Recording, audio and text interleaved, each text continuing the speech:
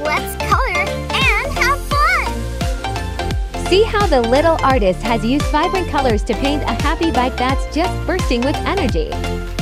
Lovely color combination!